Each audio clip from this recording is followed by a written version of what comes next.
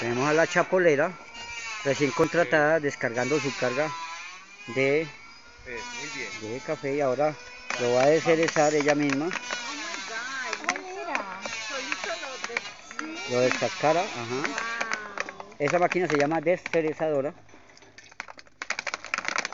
Muy bien. Eso nomás hizo. Todo falta, tranquila. Vamos a ver qué tanto falta. Queda mucho. Queda más de la mitad ahí. Ahí está funcionando. Muy bien. Son muy buenas empleadas. Ya las podemos contratar para la próxima cosecha. Ya las podemos contratar para la próxima cosecha.